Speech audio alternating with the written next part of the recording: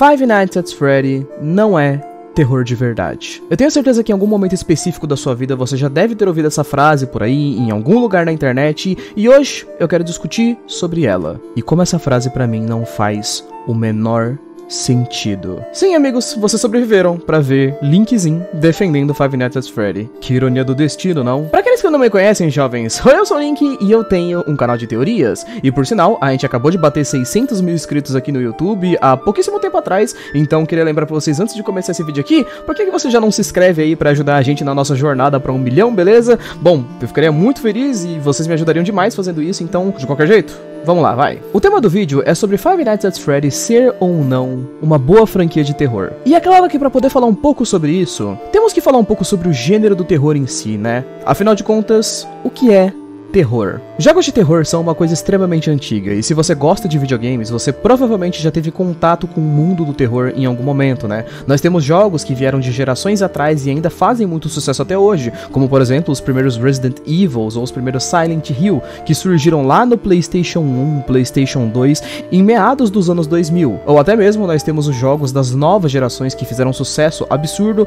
como Outlast, por exemplo, ou então o próprio FNAF. Existem milhares de jogos e franquias de terror, então não existe exatamente uma fórmula ou um conceito 100% correto sobre o que é ou como deveria ser exatamente um jogo de terror. Então, a pergunta FNAF é ou não é terror de verdade é um pouco mais complexa de se responder do que apenas ver se ele bate uma listinha com um monte de coisinhas que deveria ter um jogo de terror. E apesar da gente não ter uma fórmula exatamente concreta sobre como é ou como deveria ser um jogo de terror, com certeza existe um senso comum onde a gente pode dizer que, vamos lá, vai. Se você gosta de jogos de terror, você tem que admitir comigo que uma boa maioria desses jogos são, tipo, bem mal feitos. 99% das vezes, jogos de terror, principalmente os mais simples, são aquele famoso e velho conceito onde você chega em um lugar com pouquíssima informação e encontra um monstro aleatório que vai te perseguir por aí, e aí você vai lá e fica fugindo do monstro enquanto você encontra incríveis documentos de texto que te explicam exatamente o que é aquele lugar, quem é o seu personagem, por que, que aquele monstro existe, blá blá blá, e muitas das vezes é meio que só isso. O momento onde as coisas começaram a mudar drasticamente a respeito de jogos de terror em si foi justamente quando a internet começou a ganhar mais força, em meados de 2013 e 2014, em plataformas como o YouTube, por exemplo. Para quem tava aqui há quase 10 anos atrás, viu uma geração inteira que começou a apreciar muito jogos de terror. Em meados de 2013 começaram a surgir vários canais que faziam gameplays de jogos de terror diversos, justamente porque as pessoas começaram a descobrir que isso parecia muito interessante. Foi nessa época que surgiram grandes figuras como o Alan Zoka, por exemplo, que começou aqui no YouTube, onde ele tinha um canal em que ele jogava vários jogos de terror que lançavam praticamente toda semana. Milhares de jogos de terror eram lançados toda semana, milhares mesmos, e entre esses, FNAF surgiu do nada como apenas mais um. Um jogo com uma premissa simples, e uma ideia que também ao início parecia super simples, mas que por alguma razão Five Nights at Freddy se destacou muito entre todos os outros jogos que foram lançados na época. Era até meio difícil de dizer que poderia ser só uma coincidência, sabe? Para aqueles que são mais fãs da franquia, sabem que o jogo fez um sucessinho aí, né? Foi até que bem nas vendas, conseguiu umas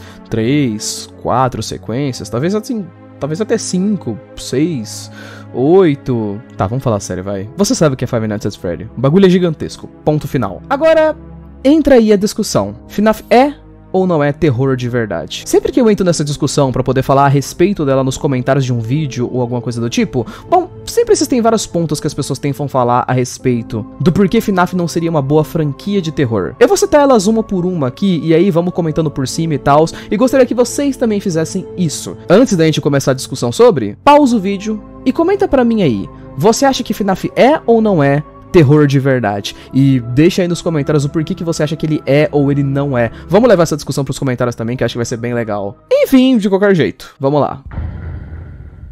Ok, acho que não teria jeito melhor de começar do que esse aqui, né? Jovens, é meio polêmico começar assim, mas existe esse comentário da maioria das pessoas que gostam de coisas de terror que dizem que jumpscare não é igual a terror. E, infelizmente, isso é bem verdade. Jumpscare é conhecido pela maioria das pessoas como uma técnica barata de terror, que é aquela famosa tática de que muitas vezes você pode usar ela em até outras coisas, consideradas como comédia, por exemplo, ou algo do tipo, por conta da lógica, né? A técnica do jumpscare é muito simples. Você tá lá assistindo, ou então jogando alguma coisa e do nada, pá, pula alguma coisa na sua tela, fazendo um barulho extremamente alto, e obviamente que você vai tomar um sustinho, né? Mas pela razão errada. Eu já vi pessoas na internet que dizem que um jumpscare em um jogo de terror é a mesma coisa que um cara tentar contar uma piada para você e ele fazer cócegas em você no meio da piada, sabe? E depois dizer que essa piada é engraçada. Você não riu da piada porque ela era engraçada. Você riu porque o cara te forçou a rir. A mesma coisa com o jumpscare. Você não ficou com medo porque aquela situação ou aquele jogo era assustador. Você ficou com medo porque o jogo forçou você a levar um susto. É muito fácil da gente pensar se a gente simplesmente usar exemplos, né? Tipo.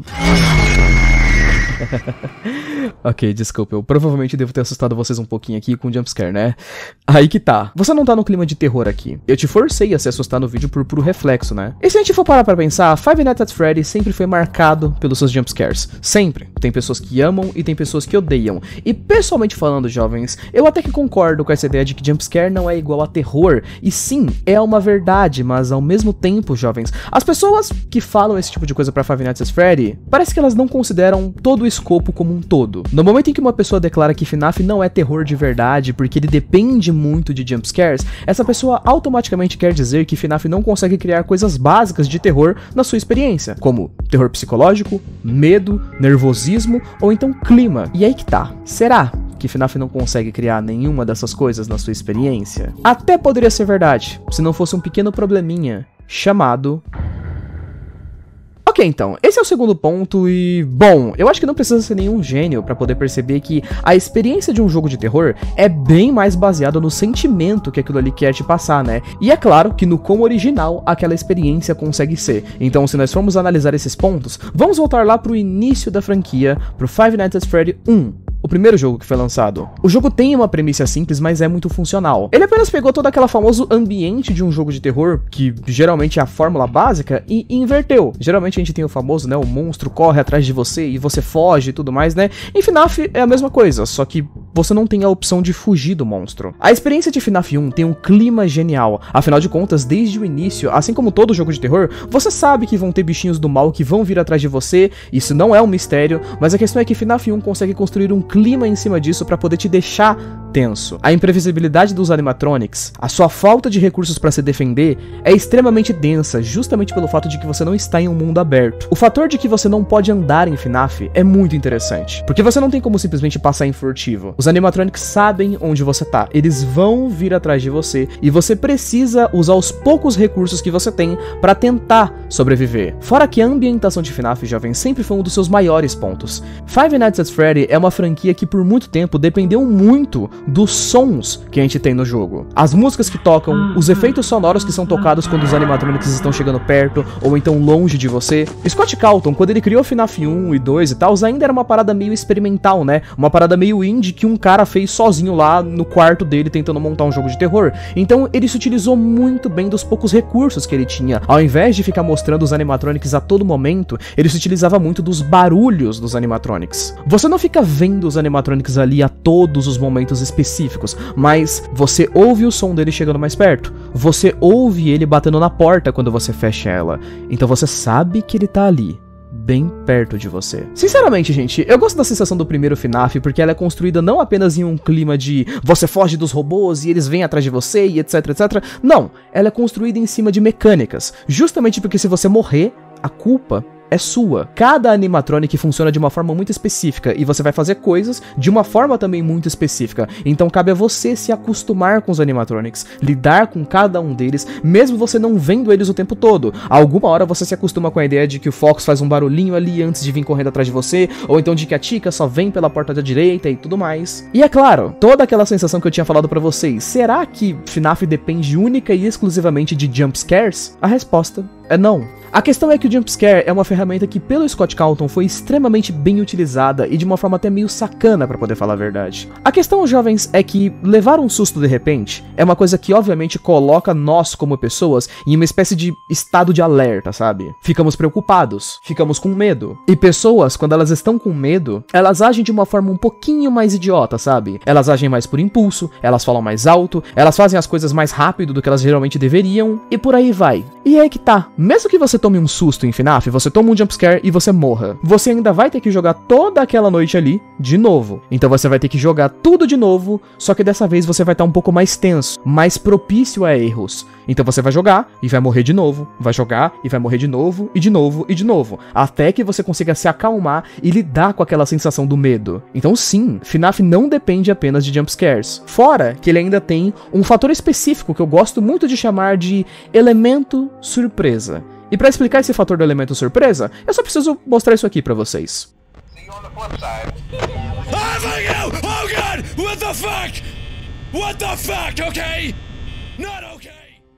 Tá bom, pra quem não sabe, isso daqui é uma cena gravada de um dos maiores youtubers do mundo, o Markiplier, quando ele jogou Five Nights at Freddy 1 pela primeira vez. Isso daqui foi o primeiro contato que esse cara teve com Golden Freddy. Pra quem fala que FNAF só depende de jumpscare, Pois é, essa cena aqui não tem jumpscare, não tem nenhum barulho na tela. O tom de terror do Golden Freddy aqui é simplesmente perfeito, justamente porque a razão dele dar medo é o quão imprevisível é essa cena. Pensa comigo, ao longo do jogo, do primeiro Five Nights at Freddy, o que foi apresentado para as pessoas que iriam jogar? Quando você comprava o jogo, você tinha uma capa que tinha todos os animatronics que iam aparecer no jogo, né? Fred, Chica, Bonnie e Fox. Então você sabia que tinha esses quatro aí. Você passa todas as noites no jogo se defendendo dos mesmos animatronics. Você usa as mesmas ferramentas para se defender. Então você se acostuma com essas ferramentas, as mecânicas, as portas, as câmeras, e você sabe que aquilo é a sua linha de defesa. Quando o Golden Freddy aparece, pela primeira vez, você fica em choque. Porque, primeiro, você não tem como se defender, porque ele já aparece dentro da sala direto. Então não tem como você fechar a porta, piscar a luz, fazer alguma coisa. Não.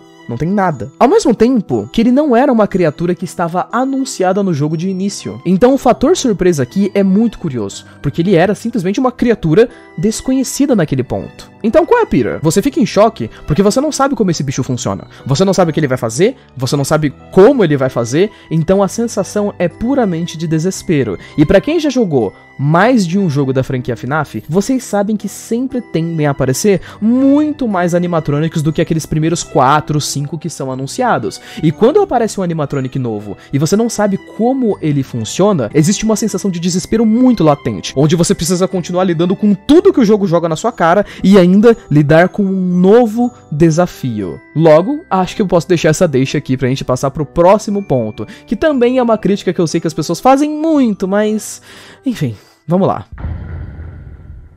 Olha, gente, Vou falar para vocês que eu nunca vou entender esse ponto com toda certeza. Eu sei que muitas pessoas dizem isso, jovens, que Five Nights at Freddy criou uma fórmula legalzinha no seu primeiro jogo, então o Scott foi lá e abusou dessa fórmula fazendo seis jogos praticamente idênticos, né? Porque a partir do 7 o FNAF muda até um pouquinho, né? Mas se a gente fosse pensar no geral, sim, eu entendo um pouco dessa ideia, gente, mas tem um contraponto muito forte contra ela, que é justamente a fórmula. Ué, Link, como assim fórmula, irmão? Fórmula, jovens. Fórmula. Se você joga games, eu acho que você deveria saber o que é isso, sabe? Produções de alto nível, jovens, possuem fórmulas. Filmes, jogos, franquias no geral, porque é justamente isso que define uma franquia, sabe? FNAF 1 fez sucesso por alguns fatores que foram muito destacados, sabe? Como, por exemplo, a sua história, o seu clima e pela sua gameplay que era muito, muito característica. Você olhar nas câmeras para poder ver onde os animatronics estavam. Você estar preso dentro de uma sala e não conseguir se mover ver a partir dali. Você ter que ver os monstros vindo na sua direção e não ter o que fazer a respeito. FNAF 1 foi um jogo que ficou consagrado por esse estilo de gameplay muito diferente. Quando uma pessoa olha para esse estilo de gameplay, ela olha para todos os seis primeiros FNAFs e fala que não mudou nada do primeiro jogo pro sexto, mano, sei lá, gente, eu juro pra vocês, eu acho que a pessoa ignora completamente os dois maiores pontos aqui. O primeiro que é a proposta de FNAF e o segundo que é o nível da franquia. Se for para falar sobre a proposta, jovens? Bom, eu já falei. A proposta básica do FNAF é justamente ficar preso na sala, se defender dos animatronics com as mecânicas que você tem. E é aí que tá, cara. As mecânicas. As mecânicas mudam um todos os FNAFs. Se a gente for pensar nos primeiros jogos, ok que a gente tem umas mecânicas que não mudam lá tanto, tipo, o primeiro jogo ele tem as portas, ele tem as câmeras, ele tem os negócios lá e os botões. Quando você vai pro segundo jogo, você não tem as portas mais, você tem os canos, você tem a caixa de música da Puppet e tal. O segundo jogo tem muitas diferenças do primeiro e é extremamente mais difícil. O terceiro jogo não tem tantas diferenças assim. O quarto jogo, ele nem tem câmeras. Ele é literalmente todo baseado nos sons. Todo aquele sistema de vários barulhos que acontece no FNAF, que eu falei que era uma coisa muito legal da franquia, o quarto jogo é feito inteiro baseado apenas nisso. O quinto jogo, que é o Sister Location, é um jogo cheio de minigames, cara, cheio de puzzles, cheio de enigmazinhos muito interessantes e tal, e é bem diferente. Enquanto que o FNAF 6, acho que ele é o que mais tem mecânicas. Ele tem um monte de mecânicas de compra e tal, de você montar seu próprio palco, de você montar direitinho as coisas para poder chegar no final principal. Ou seja, Jovens, pensa em tudo isso, todas essas pequenas mudanças, com o nível da franquia especificamente. Eu acho que vocês precisam lembrar que FNAF 1 foi lançado em 2014 e FNAF 6 foi lançado em 2017. Ou seja, o Scott Calton, ele em 4 anos desenvolveu seis jogos para sua franquia. Se cada um desses jogos fosse extremamente revolucionário e não aproveitasse nada da própria fórmula que o Scott criou e sabia que era uma fórmula legal, pô, seria meio difícil de se manter, né? Eu juro pra vocês que é até meio difícil de tentar entender da onde que vem esses pontos, mas, já vês, não é porque FNAF tem uma fórmula meio semelhante nos seus primeiros jogos que o terror não funciona. Eu joguei FNAF 1, joguei o 2, joguei o 3, joguei o 4 e eu tive medo em todos os jogos. Não chegou um ponto onde eu simplesmente me acostumei acostumasse com tudo que aconteceu na franquia, gente. E fora o fato, jovens, de que eu acho que isso é uma das outras coisas que FNAF oferece na sua franquia de forma muito interessante, inclusive. Quem já jogou FNAF sabe que uma das coisas mais interessantes a respeito dele é o fato de como o jogo funciona meio como uma espécie de jogo arcade, sabe? Onde ele te apresenta vários inimigos, cada um deles você tem que lidar de uma certa forma, e a proposta do jogo é ele ficando cada vez mais difícil, cada vez mais difícil, e você precisar realmente de uma certa habilidade pra zerar FNAF, sabe? Quem já jogou o segundo jogo da franquia, por exemplo. Mano, FNAF 2 é um dos jogos mais insuportáveis que eu já joguei na minha vida. Simplesmente porque cada noite que você passa vai começando a ter mais e mais animatrônicos. Você precisa lidar com 500 milhões de coisas acontecendo ao mesmo tempo. Você olha pra câmera, você bota a máscara, tira a máscara, clica no pontinho, coloca o som na caixa de música, desvia o olhar, pisca a lanterna. É um jogo insano e cheio de adrenalina. Porque isso é uma das coisas que FNAF oferece também. Além de ser um jogo de terror, ele também é um ótimo estilo de jogo arcade. E o Scott Calton sabe tão bem disso que anos depois ele criou a Ultimate Custom Night, né? Que é nada mais nada menos do que um arcade gigante, onde você pode colocar tipo 40 e poucos animatronics para vir para cima de você ao mesmo tempo. O jogo foi feito única e exclusivamente para ser muito difícil e só. Então, jovens, se a gente for parar pra pensar nisso, a conclusão que eu tenho aqui, FNAF é terror de verdade ou não? Na minha visão, ele é. Os primeiros jogos da franquia apresentam um clima diferente, apresentam um clima novo e muito único para a época em que eles foram lançados. É impossível negar o fato de que FNAF começou-se como uma franquia de jogos que foi tão vanglorizada que até mesmo começou o famoso gênero, né, dos jogos de mascote horror. E isso por si só já é um mérito. Inventar clichês, inventar fórmulas que fazem com que um produto venda, já é um mérito gigantesco, jovens. Agora, se a franquia se manteve sendo assustadora, eu já fiz um vídeo aqui falando um pouco sobre isso e tal, para vocês não acharem que eu sou também o maior amante da forma como o FNAF evolui e tal. Eu sou um fã da franquia, mas eu também sei criticar ela quando eu vejo que tem alguns pontos que ela não tá legal. Tipo, eu tenho esse vídeo aqui, por exemplo, que é um vídeo onde eu critico horrores os últimos pontos da franquia, os últimos jogos da franquia, como Secret Breach, que eu acho uma porcaria, que eu acho que não tem terror algum, que acho que nada funcionou direito, e que eu acho inclusive que ele descartou a maioria das coisas legais de FNAF. Tipo, nos últimos jogos que foram lançados da franquia FNAF, tipo, tipo Secret Breach, por exemplo, eles abandonaram a gameplay diferenciada, o fator mistério, o fator surpresa, basicamente abandonaram tudo, né? Menos a vontade de ganhar dinheiro fácil. Então, se vocês pararem para pensar, dá até pra gente comparar mesmo, né, de como o resto da franquia, de fato, era uma franquia que funcionava muito bem como terror, porque se a gente for pegar a maioria dos jogos de FNAF e comparar com o Security Breach, por exemplo, que na minha visão é um jogo ruim, vocês vão perceber que nenhum dos pontos que eu tinha falado aqui a respeito, eles se aplicam direito aqui, sabe? Tipo, Security Breach, por exemplo, ele não tem toda aquela questão da gameplay ser mais frenética, cheia de coisas para você fazer ao mesmo tempo, até porque você tem um mundo aberto, né? Então não tem aquela parada de cada animatronic é uma mecânica diferente. Não, eles só vão atrás de você e meio que é isso. Fora a gente não ter toda essa questão, a gente também não tem um monte de outras coisas, como o clima de terror que não foi montado, porque o jogo é muito claro, porque os animatronics são muito simples, porque tudo foi meio mal planejado. E, bom, se você for pegar a maioria dos pontos, eles não existem, o que faz com que o jogo acabe virando exatamente aquele arquétipo que eu falei, sabe? Tipo, jogo de terror normal, onde os bichos vêm correndo atrás de você e você tem que fugir para ler uns documentos de texto que contam a história. Que ironia que FNAF um dia ia virar só isso. Então, se fosse para poder dizer, sim, FNAF é terror de verdade. Eu fico um pouco triste que conforme o tempo passou, ele deixou de ser terror de verdade, mas bom, eu espero que em algum momento ele consiga recuperar isso. De qualquer jeito, jovens, é isso. Esse foi o vídeo. Queria lembrar pra vocês, antes de terminarem aqui o vídeo, que eu tô lançando um mangá de terror e de mistério chamado de Paradigma. Então, se vocês puderem, por favor, dar uma passada lá. É um mangá que eu tô fazendo totalmente de graça. Ele é muito bonito. A gente tá dando o nosso máximo para poder lançar um capítulo por mês para vocês. Capítulo gigantesco, muito bonito, muito bem feito e tal. Então, por favor, não esqueçam de passar lá no finalzinho do vídeo, que vocês me ajudam demais, beleza? Até mais, falou!